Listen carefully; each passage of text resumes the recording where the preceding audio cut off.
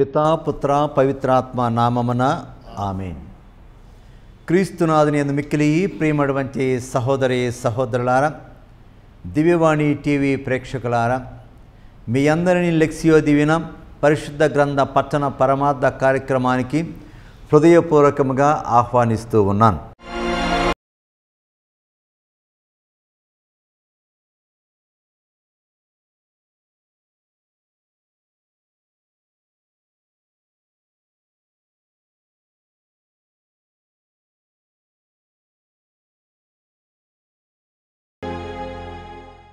ఈనాడు ఈ కార్యక్రమంలో నాతో పాటు Saint Ann's convent Arundelpet Guntur superior మరియు హెచ్ఎం రెవరెండ్ సిస్టర్ మరియరాణి గారు.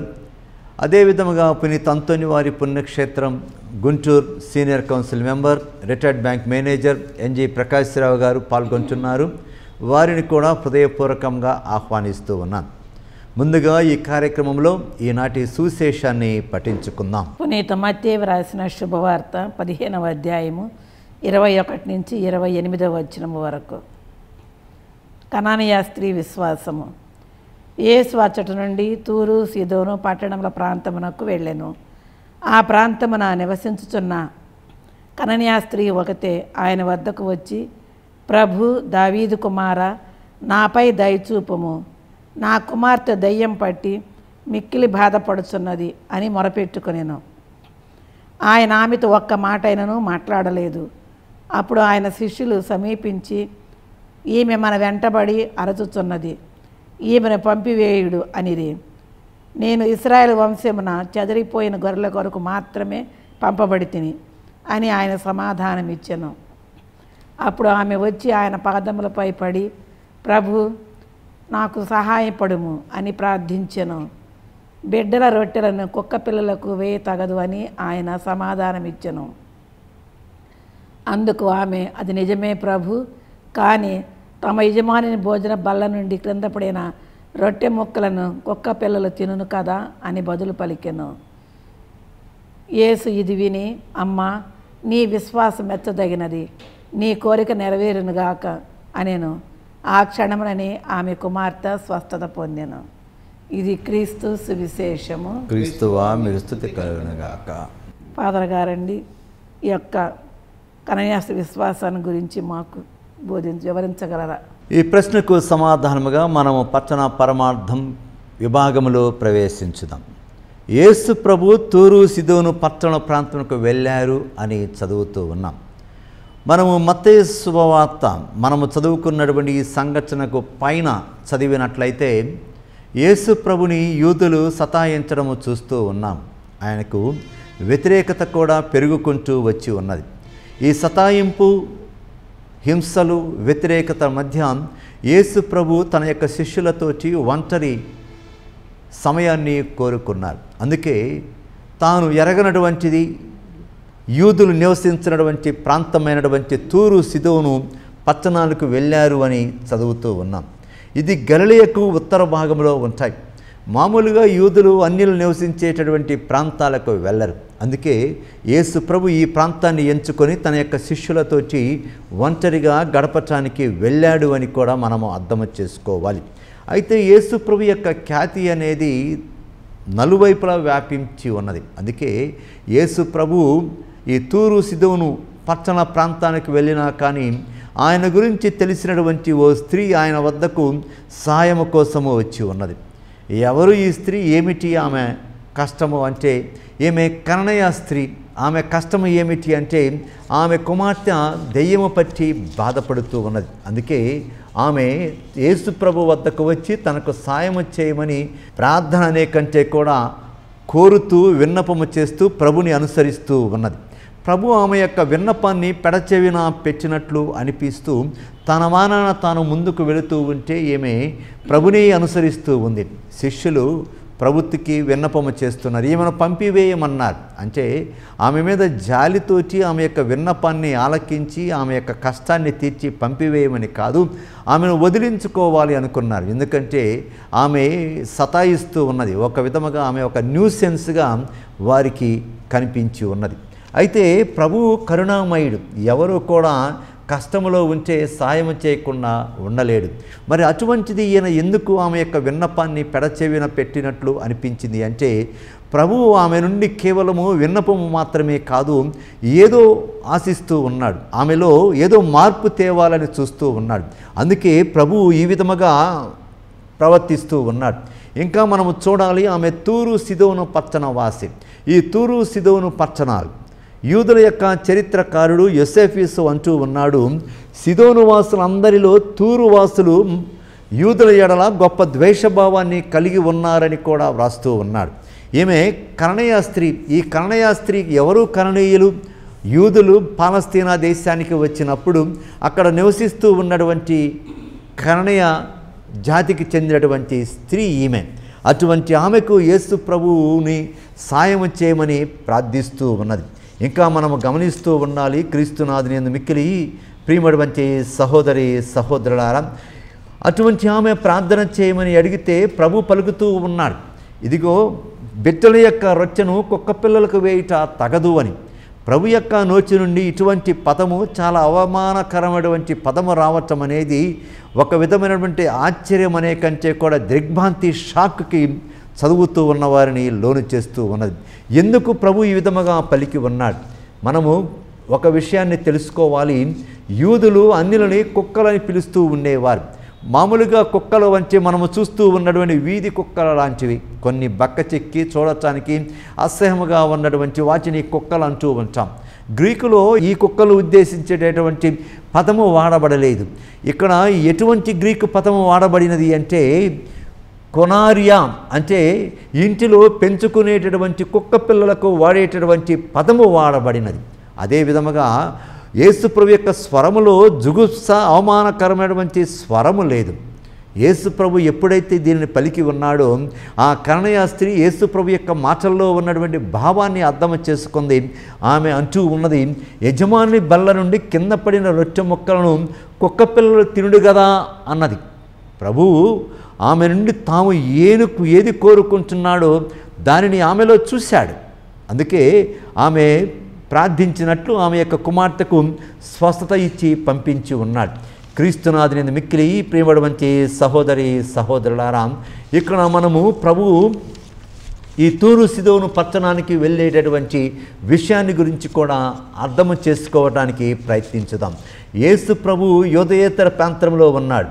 దీని ద్వారా ప్రభు ఇంకొక విషయాన్ని మనకు తెలియచేస్తున్నాడు. ప్రభువు తాను వచ్చినది కేవలము యూదులకు మాత్రమే కాదు అన్యులకు అందరికీ అందుకే తన తర్వాత సువార్త అనేది కేవలం యూదులకు మాత్రమే కాదు అన్యులకు కూడా బోధించబడుతుంది అన్న విషయాన్ని ప్రభువు తెలియచేస్తూ ఉన్నాడు. మనము చూస్తూ ఉన్నాము యేసు ప్రభు మరణించి ఉత్థానమై మోక్షారోహణమవుతూ తన యొక్క శిష్యులతోటి పలుకుతూ ఉన్నాడు. యహపరములందు నాకు సర్వాధికారం ఇయ్యబడినది. కనుక మీరు వెళ్ళి సకల జాతి జనులకు పితాపుత్ర పవిత్రాత్మ నామమున జ్ఞానస్థానం ఇస్తూ వారిని నా శిష్యులను చేయుడు అని అంటూ ఉన్నాడు. ఇక అపోస్తుల కార్యంలో కూడా పేతురు గారు కూడా ఈ విషయాన్ని తెలియచేస్తూ ఉన్నాడు. పేతురు గారు రోము సైనికులకి అధిపతిగా ఉన్నటువంటి కొన్నేలి ఇంటికి వెళ్ళి ఆ కొన్నేలి మీద కొన్నేలి ఇంటిలో ఉన్నటువంటి అన్యుల మీద పవిత్రాత్మ దేవుడు దిగిరావటము చూశాడు. అప్పుడు పేతురు గారు పలుకుతూ ఉన్నారు దేవుడు ఎట్టి పక్షపాతం లేక అందరినీ సమదృష్టితో చూచును. దేవునికి భయపడుచు సత్ప్రవర్తన కలవాడు. ఏ జాతి వాడైనను దేవునికి అంగీకార యోగ్యుడే అంటూ ఉన్నాడు. అపోస్తుల కార్యములు పదవ అధ్యాయము ముప్పై నాలుగు ముప్పై ఐదు వచనాలు. ఇంకా రెండవ పేతురు మూడవ అధ్యాయము తొమ్మిదవ వచనంలో కూడా పేతురు గారు ఈ విధముగా పలుకుతూ ఉన్నాడు. ఎవరునూ నాశనము కావాలని ఆయన కోరడు కానీ అందరూ పాపము నుండి విముఖులు కావాలని ఆయన వాంఛ అంటూ ఉన్నాడు. ఇక అన్యులకి అపోస్తులు అని పిలువబడినటువంటి పౌలు గారు కూడా ఈ విధముగా పలుకుతూ ఉన్నాడు. యూదులతో ఈ విధముగా అంటూ ఉన్నాడు. దేవుని వాక్కు మొదట మీకు చెప్పబడవలసి ఉన్నాను కానీ మీరు దాన్ని తిరస్కరించి మిమ్ము మీరు నిత్య జీవులకు అయోగ్యులుగా చేసుకొనుటచే మేము మిమ్ము విడిచి అన్యుల వద్దకు వెళుతూ ఉన్నామన్నాడు. ఏలైనా ప్రభు మాకు ఆజ్ఞ ఇచ్చి ఉన్నారు. మీరు అన్యులకు వెలుగై ఉండటకు ప్రపంచమంతటికి రక్షణ మార్గమై ఉండటకు నేను మిమ్ము నియమించి ఉన్నాను అని పలికి ఉన్నాడు. అపోస్తుల కార్యములు పదమూడవ అధ్యాయము నలభై ఆరు నలభై ఏడు వచనాలు. క్రీస్తునాథుని అందు మిక్కిలి ప్రియమటువంటి సహోదరి సహోదరులారా ఇక్కడ మనం ఈ ఈ కన్నయ స్త్రీలో ఉన్నటువంటి కొన్ని లక్షణాలని తెలుసుకుందాం. మొదట మొదటి లక్షణము ఈమెలో ప్రేమ ఉన్నది. ఏమి ఆ ప్రేమని ఈమె తన కుమార్తెను ప్రేమించింది. బాధలో ఉన్నటువంటి తన కుమార్తెకు స్వస్థత కలగజేయాలి అని ఎవరో తెలియదు. విన్నది అయినా కానీ యేసు ప్రభు వద్దకు వచ్చి యేసు ప్రభు ఆమెను తిరస్కరించినట్లు అనిపించినా కానీ నొచ్చుకొనకుండా తన కుమార్తె మీద ఉన్నటువంటి ప్రేమ చేత యేసు ప్రభు తన యొక్క ప్రార్థన ఆలకించేంత వరకు ఆయనను అనుసరించి తన యొక్క ప్రార్థనని ఆలకింప చేసుకున్నది. ఇక చిన్న విరామం తీసుకొని మరలా ఈ కార్యక్రమాన్ని కొనసాగించుదాం.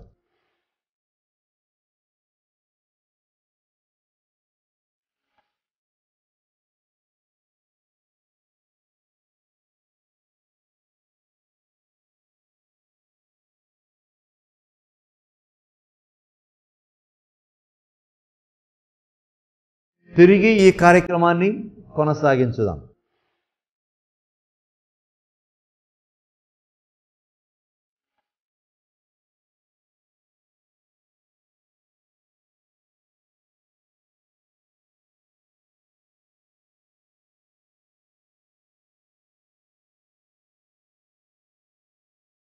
ఈమెలో విశ్వాసం ఉన్నది.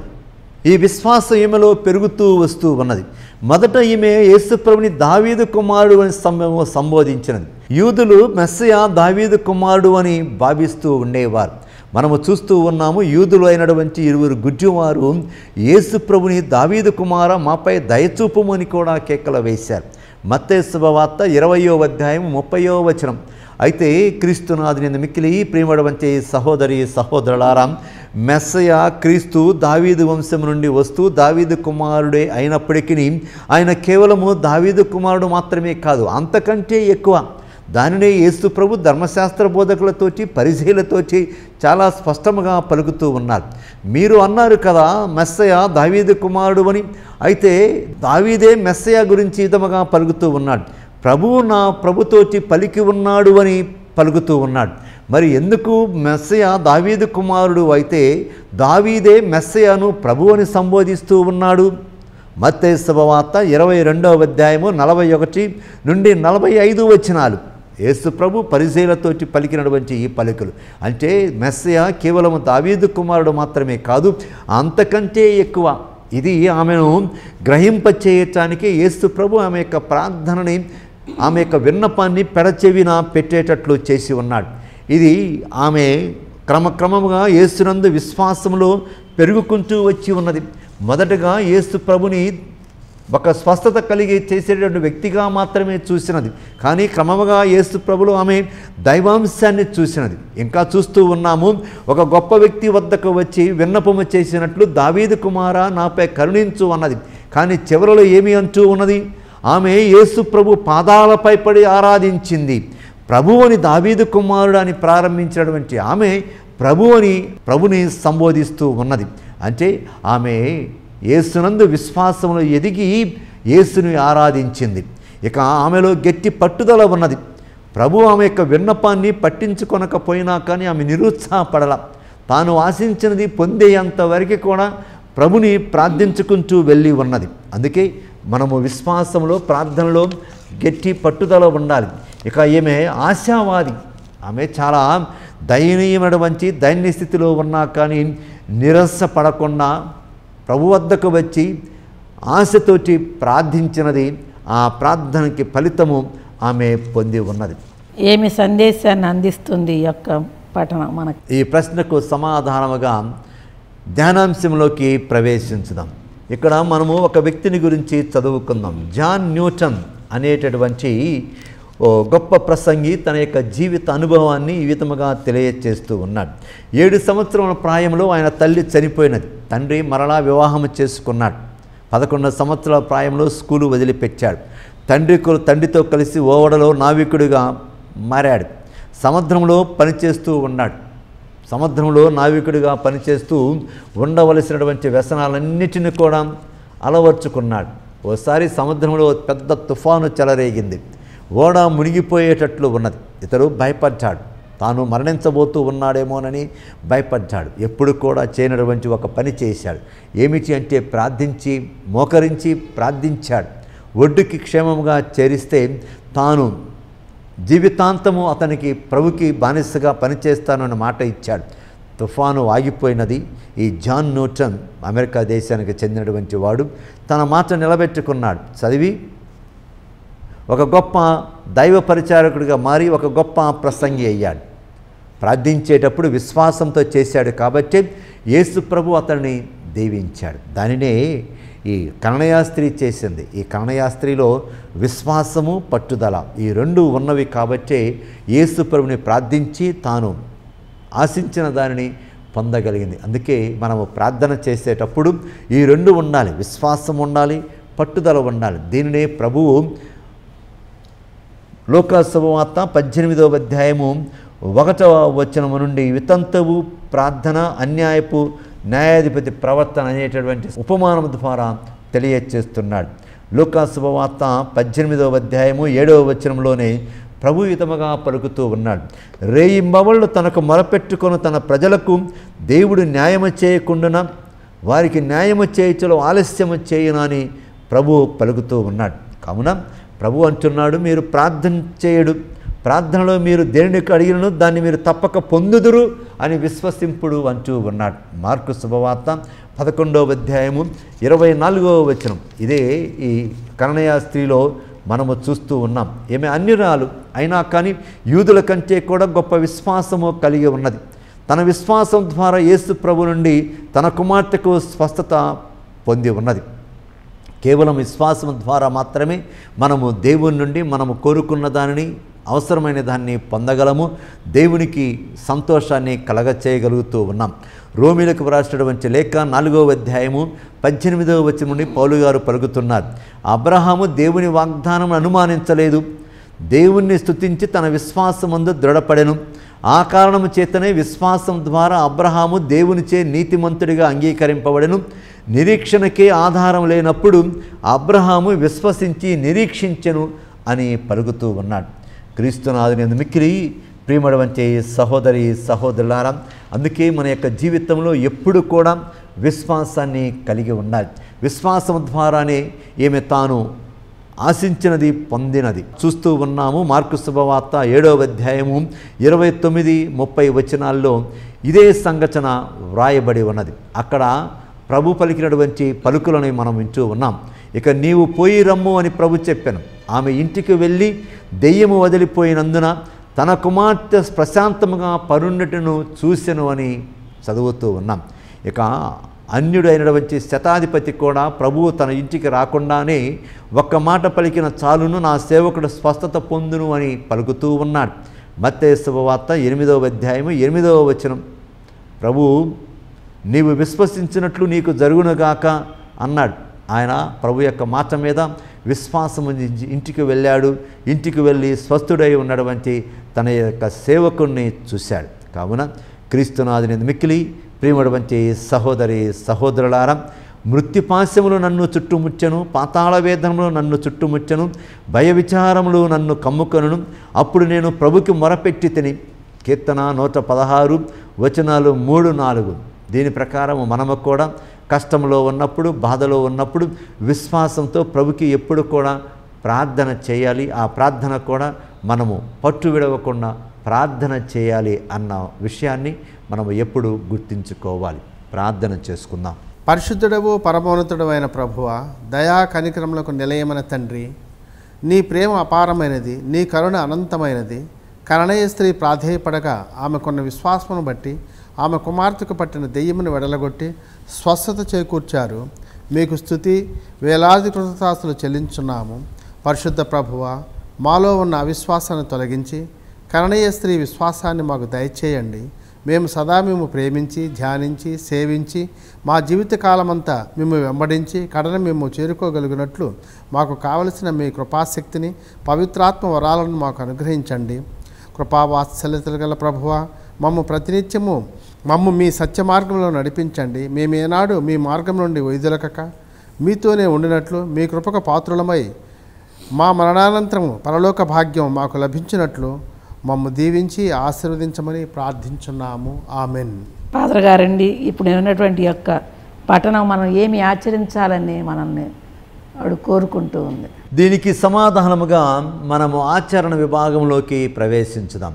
ఈ ఆచరణ విభాగంలోకి ప్రవేశించేటప్పుడు మనం ఇంకొక సంఘటన కూడా తెలుసుకుందాం. రెండవ ప్రపంచ యుద్ధం ముగిసిన తర్వాత జర్మనీలోని కొలోన్ ఇది ఒక గొప్ప పట్టణం.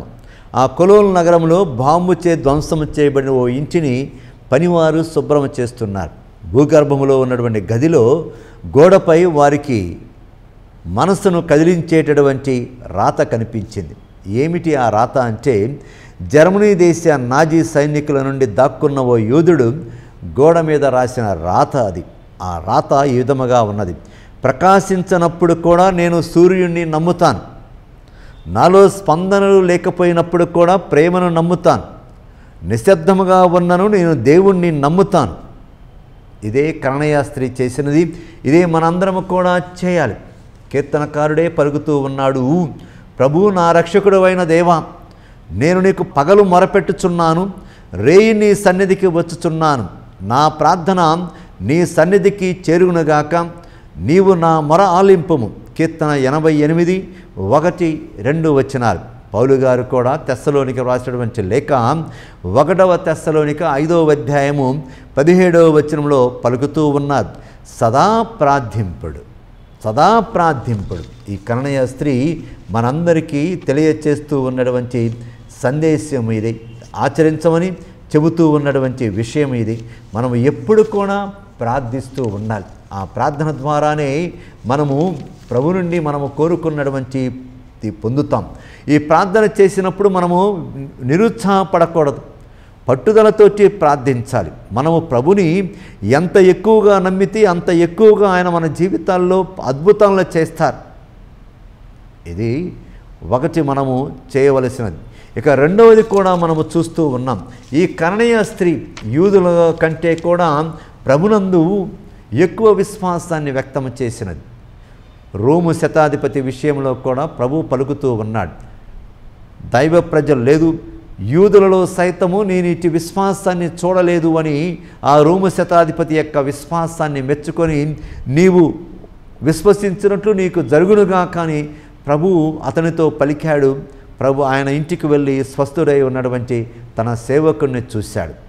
అన్యులు అయినప్పటికీ యూదుల కంటే కూడా ఎక్కువ విశ్వాసాన్ని వీరు చూపించారు. ఆ విశ్వాసం ద్వారా ప్ర- వారు ప్రభు నుండి తాము ఆశించిన దానిని పొందారు. మనము కూడా చూస్తూ ఉన్నాం. కొన్ని మనమందరము కూడా క్రైస్తవులమే అని చెప్పుకుంటూ ఉన్నాం. అయితే మనము నామమాత్రపు క్రైస్తవులమేనా? మన లేక మనలో నిజముగా క్రీస్తునందు విశ్వాసం ఉన్నదా? కొన్నిసార్లు మనకంటే కూడా క్రైస్తవేత్తలు ఎక్కువ విశ్వాసాన్ని కలిగి ఉంటారు. కేవలము విశ్వాసాన్ని కలిగి ఉండడం మాత్రమే కాదు కొన్నిసార్లు వారి యొక్క జీవితమే మనకంటే మన జీవితాల కంటే కూడా గొప్పగా ఉంటూ ఉంటాయి. మనకంటే కూడా వారి యొక్క జీవితాల్లో దైవభక్తిని సోదర ప్రేమని దండిగా చూస్తూ ఉంటాం. అటువంటిది మనము మన యొక్క జీవితాల్లో దైవభక్తి సోదర ప్రేమ దండిగా ఉండాలి. మనము మన జీవితాల్ని పరిశీలించుకోవాలి. హృదయ పరివర్తనం చెంది దేవునికి నిజమైనటువంటి బిడ్డలుగా మనము జీవించాలి. విశ్వాసంతో నిండిన క్రైస్తవులుగా మనం రూపొందించాలి. క్రీస్తును పోలిన మనుగడని మనము కొనసాగించాలి. తిరిగి మరలా మనము వచ్చే వారము లెక్సియో దీవెన కార్యక్రమం ద్వారా కలుసుకుందాం. అంతవరకు మీ అందరికీ దేవుని ఆశీస్సులని అందచేస్తూ ఉన్నాను.